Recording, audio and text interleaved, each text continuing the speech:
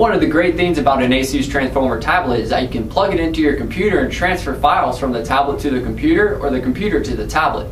Well, I'm going to show you what to do once the tablet's plugged into the computer. My name is Ethan, I'm a tech at Micro Center. Let's get started.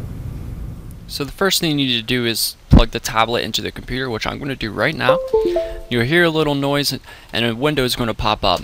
Now I've already done this before, so mine just opens up right into the files, but if you this is the first time you're going to get a window open up saying what do you want to do with this device. You just simply want to click on open to view files and then you'll get a window that looks something like this. Now mine says ASUS Transformer Pad but yours can say something different depending on the model.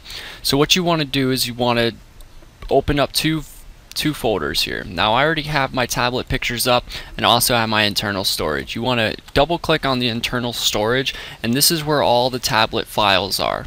Now I'm going to use screenshots just as an example to show you how to transfer from the tablet to the computer and the computer to the tablet. So the tablet's on the right and the computer is on the left. You simply just want to open up a file. I'm going to use a screenshot. You click and hold and you can drag it over. Now I already have it on there. You just hit copy and replace.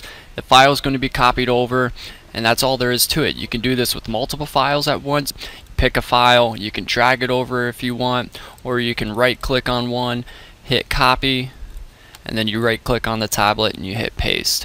You can do this with movies, you can do this with pictures, you can do this with anything that has a file, you can do it with games, anything you would like. If you want to back up your tablet, it's a great thing to do. You can do it to your computer. If you have any other questions about this, you can check us out at www.microcentertech.com or you can jump on our chat to talk to another tech at chat.microcentertech.com.